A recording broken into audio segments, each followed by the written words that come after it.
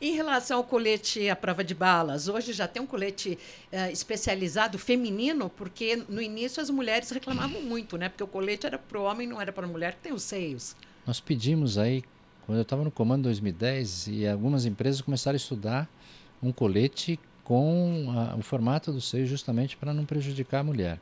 Hoje nós temos um colete muito mais flexível, tá? mas eu sinceramente não sei se caminhou exatamente para um modelo feminino, mas acredito que sim. Naquela época estava em teste e era uma grande reclamação. Só que melhorou bastante. É, ele era muito rígido. Hoje a tecnologia permite tinha um colete... que Tinha que dividir com outro policial do plantão. Isso eu acabei em 2011. Por quê? Tinha que trocar o colete, então cada um só trocava a capa e pegava o colete por falta de colete. Hoje não tem mais isso. Hoje cada um tem o seu colete e mais, todos tinha que trocar arma.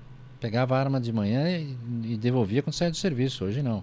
Hoje cada policial tem a sua arma e seu colete como carga individual. O que, que é isso? Fica com ele o tempo todo.